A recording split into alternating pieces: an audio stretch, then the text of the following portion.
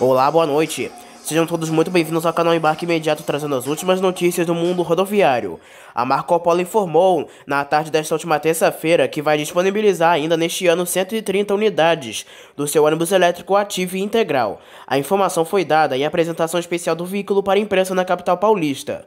De acordo com o diretor de operações comerciais da Marco Polo, Ricardo Portolan, destas 130 unidades, 10 serão para testes em cidades com interesse em ter a frota de ônibus elétricos e 20 serão para pronto entrega e sem para encomendas. Portolan também afirmou que para o ano que vem as estimativas são de produzir mil unidades integrais do ativo da Marco Polo e até outras duas mil em parceria com fabricantes de chassis elétricos, como os modelos que já operam em São José dos Campos, no interior de São Paulo, cujos chassis e tecnologia são BID. Portolan confirmou que a marca mira no mercado paulistano e que o Ative passou por pré-testes na cidade de São Paulo, obtendo resultados satisfatórios. O diretor de operações comerciais da empresa disse ainda que foi feito um pré-teste há duas semanas atrás, na linha definida pela SP Trans para fazer o início do processo para homologação do produto. O governo federal publicou hoje, quarta-feira, no Diário Oficial da União, o aval e a garantia da COFIEX, Comissão de Financiamentos Externos para que a cidade de São Paulo receba cerca de 500 milhões de dólares do Banco Interamericano de Desenvolvimento, o BID, e do Banco Internacional para Reconstrução e Desenvolvimento, o BIRD, para eletrificação da frota de ônibus municipais. A contrapartida da prefeitura deve ser de aproximadamente 125 milhões de dólares. Em moeda nacional, os valores de 625 milhões de dólares totalizam 2,99 bilhões de reais, sendo 2,4 bilhões de reais do financiamento e 594 milhões de reais da contrapartida. O ato permite que a transmitação avance para que o dinheiro internacional chegue à cidade. A publicação desta quarta-feira, entretanto, condiciona o recebimento do dinheiro a algumas exigências, como a prefeitura provar ao Ministério da Fazenda que tem a capacidade de pagamento e oferecimento de contragarantia suficiente. Além disso, a cidade deve provar que cumpre a lei de responsabilidade fiscal. Em portaria publicada nesta última segunda-feira, a Artesp, a agência que regula os transportes do estado de São Paulo, publicou a tabela com os novos preços das passagens dos ônibus intermunicipais que vale a partir do dia 1 de julho. Em decisão no dia 17 de maio, as bases tarifárias foram reajustadas em 18% tanto para os serviços da característica rodoviária quanto para os serviços de característica suburbana. Na portaria Artesp, número 36, publicada na última segunda-feira, a agência traz a relação dos valores máximos finais a serem pagos pelos passageiros, exceto nas linhas que tenham taxa de embarque em terminais rodoviários rodoviários, seguro facultativo, pedágio ou se utilizem de serviço de balsa. Nos casos de empresas permissionárias cujos itinerários se desenvolvam total ou parcialmente ou por rodovias pedagiadas ou façam isso. Uso de balsa, a Artesp autoriza a cobrança na emissão das respectivas passagens. O valor corresponde às despesas realizadas com o pagamento dessas taxas a título de reembolso. O valor adicional será pago individualmente mediante a decisão do total do pedágio ou balsa cobrados em cada sentido pelo número médio de passageiros por viagem, correspondente a 24 no caso do rodoviário de, e 21,2 no caso do suburbano. Caso haja cobrança em um único sentido o valor encontrado deverá ser dividido por dois. Quanto à idade das frotas do sistema do Serviço Regulado Transporte Coletivo, a agência determina a idade média de no máximo 5 anos para os veículos tipo rodoviário e 7 anos para os veículos tipo urbano. No dia 1 de julho, vai aumentar o preço das passagens dos ônibus rodoviários intermunicipais e dos ônibus suburbanos, o que não inclui a EMTU. Os valores vão subir em torno de 18%. Hoje saiu a relação dos valores que serão por quilômetro percorrido que variam de acordo com o tipo de ônibus, suburbano e rodoviário convencional, executivo, leito e semileito. Com isso, as passagens de ônibus gerenciados pela Artesp podem chegar a R$ 548,37. A diretoria colegiada da ANTT, pela decisão pela deliberação número 179, deferiu o pedido da empresa Nobre Turismo e Transporte em cumprimento da decisão judicial para a inclusão dos mercados de Belo Horizonte, Pará de Minas, Nova Serrana, Luz, Patos de Minas, Patrocínio e Uberlândia, em Minas Gerais para Goiânia, Catalão, Caldas Novas e em sua licença operacional número 109. No mesmo ato, publicado no Diário Oficial da União desta terça-feira, foi negado recurso para impugnação do pedido apresentado pela empresa Gontijo. A Superintendência de Serviço de Transporte Rodoviário de Passageiros da ANTT publicou na edição do Diário Oficial desta quarta-feira decisão relativa a pedido da modificação de serviços feita pela Candango Transporte de Turismo Limitada, a Catedral.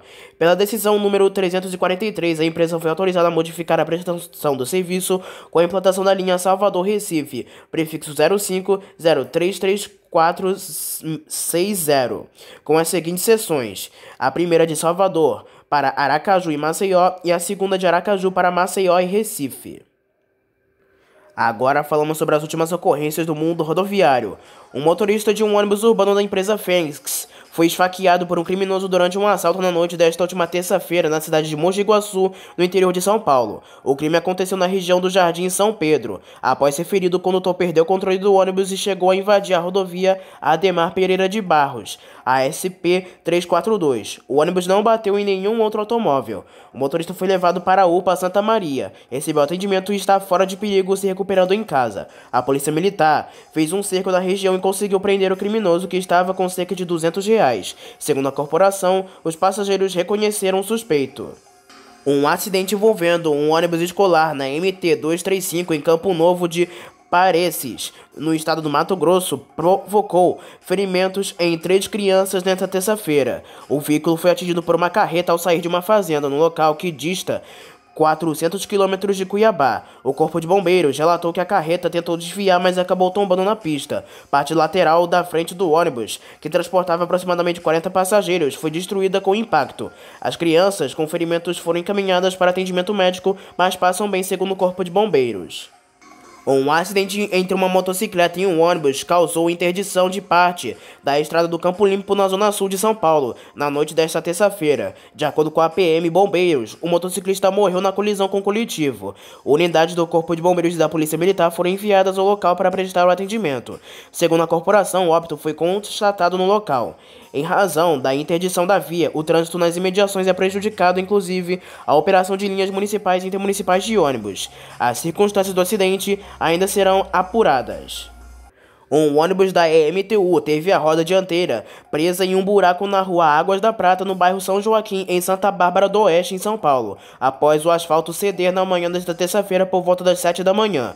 O coletivo atendia a linha 629 americana, terminal rodoviário Francisco Luiz Dilate, Santa Bárbara do Oeste e São Joaquim. Nenhuma pessoa ficou ferida e outro ônibus da MTU foi acionado para transportar os passageiros ao destino. Um acidente entre um ônibus municipal de São Paulo, que pertence à concessionária Sambaíba, e uma moto deixou um motociclista ferido na manhã desta terça-feira. De acordo com a SP Trans, responsável pelo gerenciamento do sistema de transporte coletivo na cidade de São Paulo, o programa de redução de acidentes de transporte da gerenciadora apura a ocorrência que aconteceu às 7h40 da manhã na Avenida Imirim com a Rua do Engenho Cachoeirinha no sentido bairro. O coletivo pertence à linha 148P-10 Pedra Branca, metrô Barra Funda. Segundo o Corpo de Bombeiros, a vítima foi encaminhada ao pronto-socorro São Camilo, em Santana.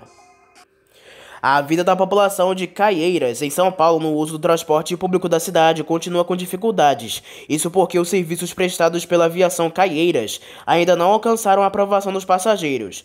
Um desses usuários relatou problemas constantes no serviço, com atrasos nos horários definidos, lotação em razão das demoras sujeira resultando de limpeza ineficiente. Com o nome Eduardo, o usuário enviou imagens de um ônibus que na última sexta-feira, dia 16, circulava sujo de vômito e ainda mesmo assim continuou operando sem passar por uma higienização mesmo que básica. De acordo com ele, nos finais de semana, esperar mais de uma hora no ponto é algo normal, especialmente os domingos e feriados afetando a vida de pessoas. A empresa atende com aproximadamente 35 veículos na frota da cidade, com linhas que ligam os bairros até a região central, perto da estação da Companhia Paulista de Trens Metropolitanos da CPTM na linha 7 Ruby, atuando há vários anos no município. Em março deste ano, o poder público havia divulgado que oito empresas se interessaram na licitação e o resultado seria informado no dia 28 de março, porém nada foi comunicado tanto para a população como imprensa e canais oficiais. Acontecer aconteceu nesta última quarta-feira, dia 21 de junho, a sessão pública do leilão eletrônico para contratação de ônibus elétricos para serviço de transporte de funcionários de Itaipu Binacional. O objetivo é que o veículo elétrico substitua um dos ônibus da frota movidos a diesel. Com a medida, a empresa poderá avaliar o desempenho do ônibus, analisando sua autonomia, eficiência energética e adaptação às necessidades de seus passageiros. O estudo também vai considerar que a qual a infraestrutura necessária para a recarga do veículo. A aquisição do primeiro veículo elétrico é uma iniciativa alinhada aos princípios do Pacto Global da ONU. A iniciativa representa o primeiro passo para a transição da frota atual para veículos elétricos e está de acordo com as metas de sustentabilidade da empresa. O diretor administrativo da Itaipu, Igor Gomes Rocha, destaca que a iniciativa dá um claro sinal de que é possível adotar alternativas e contribuir com a redução de poluentes. Isso é também, ao nosso ver, papel de Itaipu, completo diretor. Para mais informações sobre o processo e requisitos, os interessados deverão acessar o portal de fornecedores da Itaipu, disponível em portaldofornecedor.itaipu.gov.br. Marca entra no clima com um ônibus temático, decoração das agências e música típica. Passageiros também vão ganhar guloseimas típicas e cupons de desconto. No mês de junho, a Aviação Águia Branca, empresa de transporte rodoviário de passageiros do Grupo Águia Branca, convida os viajantes a embarcarem nas festividades do São João, evento que representa o Nordeste do país como nenhuma outra com apresentações de forró nas rodoviárias de Salvador e Petrolina. A ação acontecerá nos dias 22 e 26 de junho. Além disso, a marca preparou cupons, brindes e doces típicos para os passageiros que visitarem as agências localizadas de Salvador, Aracaju, Petrolina, Itabuna, São Paulo, Terminal Tietê e Vitória da Conquista. Além dessas ações, a Águia Branca criou uma campanha para celebrar o período com peças que circulam na internet, no rádio e nas rodovias rodoviárias, trazendo as cores, os símbolos e a alegria do São João.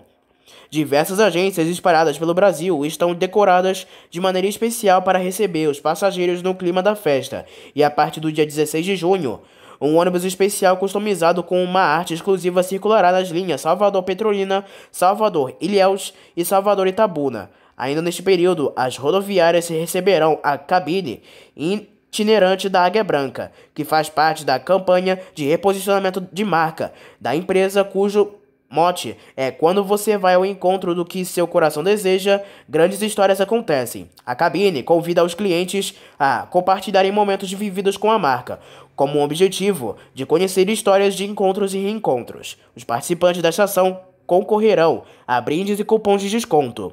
Para aproveitar as celebrações mais animadas do São João, os passageiros podem comprar sua passagem antecipada por meio do site da empresa, de uma das agências físicas ou do Zap Passagens, sistema de vendas assistida via WhatsApp.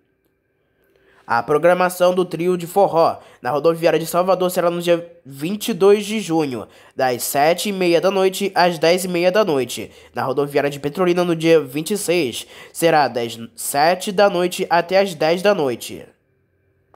A Prefeitura de Cascavel, no Paraná, terá de suspender a licitação do transporte coletivo marcada para ocorrer no dia 26 de junho, próxima segunda-feira. A decisão é do TSE do Estado do Paraná conforme despacho no conselheiro Agostino Zucchi, publicada nesta segunda-feira de 19. O órgão de contas concedeu medida cautelar de suspensão solicitada pela empresa Autoviação São José dos Pinhais contra a Transitar, Autarquia Municipal de Mobilidade, Trânsito e Cidadania.